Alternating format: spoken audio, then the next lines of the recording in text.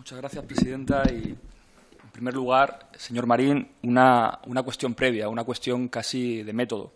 A nuestro juicio, seguir considerando el sistema educativo o los presupuestos educativos como un gasto y no como una inversión estratégica de país obedece más que otra cosa a un prejuicio ideológico. Por tanto, en primer lugar, reivindicamos que el dinero que se destina a la sección 18 de estos presupuestos generales eh, debería contabilizarse efectivamente como, como inversión y no solo como gasto. El Gobierno anuncia que el presupuesto de educación se ha incrementado y eso es verdad desde un punto de vista cuantitativo pero si vamos a un análisis cualitativo, sigue siendo un presupuesto insuficiente, precario y que no está en condiciones de abordar los problemas estructurales de nuestro sistema educativo. Estamos hablando de un presupuesto de educación, cultura y deportes de 2.525 millones de euros, que solo aumenta 40 millones respecto al ejercicio anterior, es decir, un 1,7%, muy lejos de la financiación que manejaba el Ministerio de Educación en el año 2010, antes del giro austericida del Gobierno Zapatero, cuyo presupuesto era casi de 3.100 millones de euros. Por tanto, eh, son 600 millones menos de inversión que se acumulan a los recortes de los años anteriores y nos mantienen en uno de los niveles de inversión más bajos de la media europea, 4,3 frente al 5,6% de media de los países de la OCDE y mucho más lejos aún de los países con los mejores resultados en, los informes PISA, que invierten una media del 7%. Por lo tanto, no son presupuestos, podríamos decir, de vuelta a la normalidad, sino que son unos presupuestos para normalizar la excepción y que la gente se acostumbre a unos servicios públicos infrafinanciados y a una educación pública muy devaluada. Son además unos presupuestos que consolidan la desigualdad, ya que se recortan unos programas, unas partidas muy importantes. En concreto, eh, y, lo desarrollaré más adelante, disminuye la financiación en la formación permanente del profesorado, disminuye en 576.000 euros en educación infantil y primaria, 2.300.000 euros menos, educación secundaria y profesional, 35 millones de euros menos, educación en el exterior, que pierde casi un millón de euros, y educación compensatoria, 460.000 euros menos. Pero a continuación me gustaría bajar al detalle de varios programas de esta sección 18 para preguntarle sobre cosas más concretas. Respecto al programa 322A, sobre educación infantil y primaria, está claro que los cheques guardería en las comunidades en los, que en los que los hay deben de ser un negocio muy suculento para empresas amigas, dadas las reticencias a incluir la gratuidad en esta etapa educativa. Así que la pregunta es cuándo se plantea este Ministerio eh, la escolarización gratuita de cero a tres años en centros públicos. Por otra parte, el modelo concertado en educación infantil y primaria supone 12 millones de euros, eh, más por supuesto los gastos del profesorado. ¿Han calculado alguna vez, aunque fuera por curiosidad, lo que supondría económicamente universalizar la educación pública y dejarla como única red? Creo que sería también un dato importante a conocer para manejar en la subcomisión por el Pacto Educativo. En este programa, aunque eh, en todos en realidad, estaría bien que nos explicaran cómo hacen las tablas que aparecen al final de la memoria de actividades del programa, porque aparecen algunas cosas con cifras a las que nos ha resultado difícil saber a qué se refieren. Por ejemplo, en las tablas 1 y 2 de este programa ponen cifras de números de alumnos, de profesores e incluso de gasto de funcionamiento por alumno, pero no se sabe exactamente a qué se refieren, por lo que no ayuda mucho a clarificar estos presupuestos generales del Estado y hacernos una visión de conjunto respecto al programa 322B, que se refiere a la educación secundaria, a la formación profesional, a las escuelas de idiomas. Ya se les dijo en el anterior debate de presupuestos que era un programa claramente hinchado por la aplicación de, por la implantación de la LONCE, una ley que, como usted sabe, estamos intentando revertir desde la, desde la Subcomisión por el Pacto Educativo. Pero es que incluso con ese presupuesto hinchado no llega a ser un presupuesto o un, programa con una financiación mínimamente decente. En fin, pasa lo mismo que con infantil y primaria, que parte del presupuesto se va a asegurar la gratuidad de los colegios privados subvencionados. Es difícil determinar cuánto de este dinero va a estos asuntos, pero sí le quería preguntar una, una cuestión bien concreta. Si al calcular este dinero tienen en cuenta aquellos colegios concertados que, cobran cuotas por estudiante a los padres, algunas incluso como mensualidad, si esto lo están barajando en el Ministerio.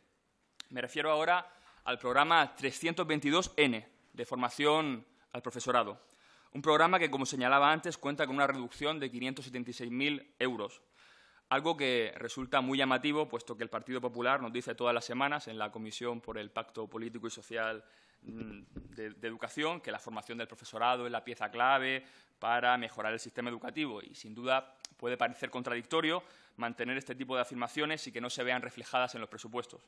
Pero vayamos a las preguntas. En la memoria del programa dicen que una de las actividades financiadas son cursos de verano del Instituto Nacional de Tecnologías Educativas y Formación del Profesorado. ¿Podría detallarnos cuál es el presupuesto exacto destinado a ello? La misma pregunta para las estancias profesionales y los congresos y jornadas que dicen que financian este programa. Dicen que lo financian, pero, pero no hay una cifra concreta. Si el presupuesto es de 2.600.000 euros, de los cuales se va casi la mitad a pagar gastos de personal, ¿cómo creen que pueden asegurar la formación del profesorado con apenas un millón y medio de euros? ¿Dónde cabe aquí la formación permanente del profesorado o más bien responde a una serie de cursos puntuales, en la mayoría de ellos virtuales, que son para aparentar que se forma al profesorado en lo que, pero que está muy alejado ¿verdad? de sus necesidades de la práctica diaria en el aula? Sobre el programa 322G relativo a la educación compensatoria, que es algo que nos preocupa realmente y que va en la dirección contraria a la igualdad de oportunidades y a la equidad. Realmente el, bajo presupuesto en este programa, apenas 4.600.000 euros, unida a la desaparición absoluta del programa de educación especial, explica que el, programa, que el Gobierno haya tenido que cambiar el rumbo respecto a las reválidas y aceptar que ahora se titula, se titula la educación secundaria obligatoria con dos suspensos, ya que con un presupuesto así se les iba a ir por las nubes los niveles o los números de fracaso escolar. Efectivamente, si no se atiende a las necesidades del alumnado, se está desatendiendo de facto la premisa de la educación universal. Porque escolarizar, en el sentido de meter a alguien dentro de, unas, de cuatro paredes, no es lo mismo que atender, no es lo mismo que educar y no es lo mismo que responder a las necesidades individuales de, cada alumno. Y para eso hace falta presupuesto. En cualquier caso, queríamos saber eh, qué justifica, a juicio del Gobierno, una cifra o una financiación tan baja en esta materia. Respecto al programa 322L, ¿no? inversiones y otras actividades educativas.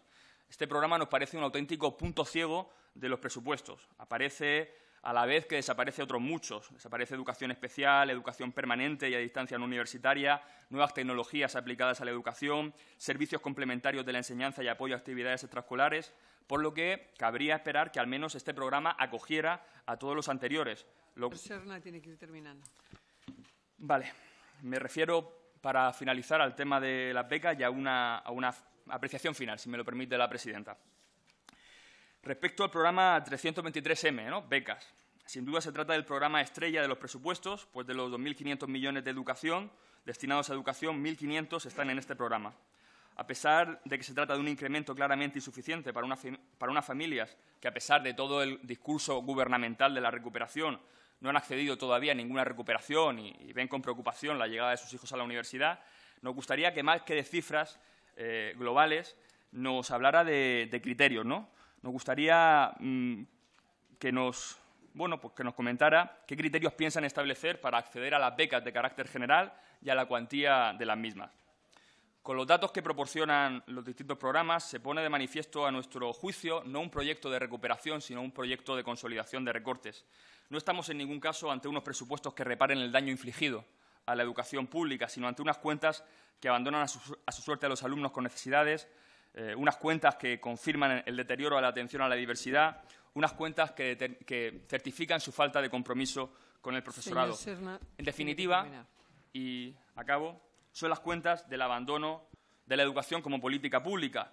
El Gobierno puede hacer ingeniería, puede adornar esto con bonitas palabras, pero a este ritmo, a este ritmo de presupuesto de inversión, ¿sabe usted lo que tardaríamos en revertir los recortes del Gobierno ejecutados durante los últimos años? 20, 20 años. Creo que es algo que no nos podemos permitir y que sin una inversión real en educación no va a haber una recuperación económica real. Gracias. Pues